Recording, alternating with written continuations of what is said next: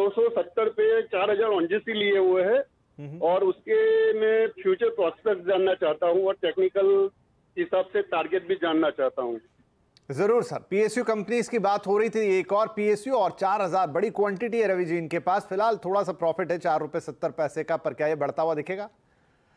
देखिए, मैं चार कॉल तो दे ही चुका था, लेकिन अगर पांचवा देना होता तो ओएनजीसी देता और मुझे लगता है कि करंट लेवल यानी जो दो सौ चौहत्तर है, इस पे भी बाय कर सकते हैं। टारगेट इमीडिएट टारगेट है तीन सौ रुपए का और स्टॉप लॉस यहाँ पर दो सौ पैंसठ का लेकर चल सकते हैं। लेकिन लेकिन ध्यान रखिए, ये जो स्टॉक्स हैं, ये लंबी रेस के घोड़े हैं और आपको आगे और दौड़ते हुए नज़र आएँगे। मोमेंटम अच्छा है टेक्निकल चार्ट पर अच्छा है कंपनी प्रॉफिटेबल है तो फंडामेंटल से लेकर टेक्निकल तक अप टू डेट कंपनी है। मुझे ऐसा लगता है फ़िलहाल लंबे समय के लिए अगर रखना है तो 380 के लक्ष्य आने वाले छह महीने में आपको देखने को मिल सकते हैं। तो शॉर्टर पीरियड भी आपको बता दिया लॉन्ग पीरियड भी बता दिया। कल्पेश भाई होल्ड करके रखो।